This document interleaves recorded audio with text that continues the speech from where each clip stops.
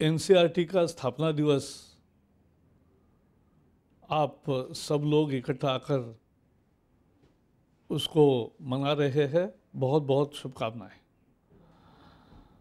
क्योंकि एनसीईआरटी अपने देश में एक ऐसी महत्वपूर्ण शैक्षिक संस्था है कि जिन्होंने नेशनल करिकुलम फ्रेमवर्क तैयार किया और उसके सहारे सारे देश भर में पाठ्यक्रम कैसे रहे, इसका एक तरह से मापदंड तय किया। टीचर्स ये शिक्षा में बहुत महत्वपूर्ण है तो अच्छे शिक्षक कैसे बने? इसके लिए आठ संस्थाओं द्वारा, अपने रीजनल इंस्टीट्यूट्स के द्वारा, अच्छे शिक्षकों का निर्माण का काम लगातार इतने साल चल रहा है। और अब हम इसको नेशनल इंस्टीट्यूट का दर्जा देने की इस बात पर विचार कर रहे हैं, ताकि फिर आपको हर बार दूसरे के दरवाजे में नहीं जाना पड़ेगा और आप ही उसकी पूरी डिग्री और बाकी सारी चीज़ें हो ची जाएगी। तीसरी बहुत महत्वपूर्ण बात है कि खुद एनसीईआरटी के पाठ्यक्रम बहुत लोकप्रिय हो रहे हैं। अनेक राज्यों ने उसको स्वीकार किया है। और जब मैंने दो साल पहले इसका रिव्यू लिया था तो दो करोड़ किताबें एनसीईआरटी छापती थी।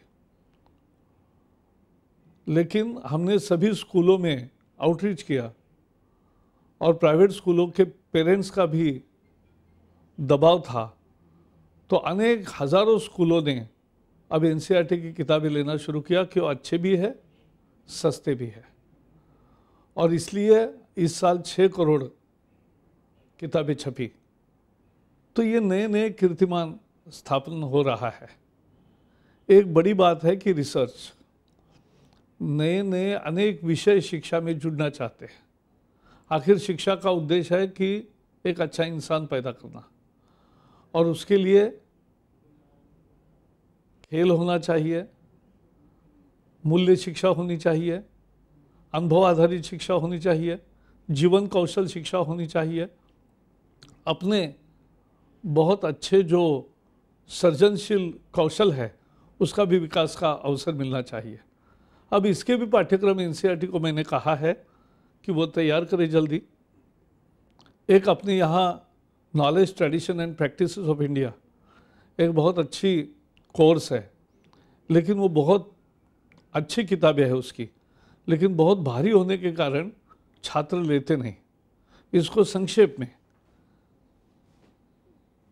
ग्यारहवीं बारहवीं में अगर किताबें लाएँगे तो ये ज़्यादा छात्र लेंगे और इसका परिणाम पूरा समाज में, भारत के बारे में, भारत बोध बढ़ेगा। भारत के बारे में अच्छा साइंटिफिक ज्ञान छात्रों को मिलेगा। और ये देश के लिए बारे में सही जानकारी होना बहुत ज़रूरी होता है। और इसलिए एन के इस स्थापना दिवस पर मैं पूरी शुभकामना देता हूँ। और ऐसी ही तरक्की करते रहे और करें। और नए नए आयाम शिक्षा के बारे में विचार करें, शोध करें, पाठ्यक्रम भी तैयार करें, लोगों को उचित निर्देश देते रहे। एक एन एक प्रमुख संस्था बने कि जहाँ नई शिक्षा नीति के अमल के में भी उसकी बहुत महत्वपूर्ण भूमिका रहेगी।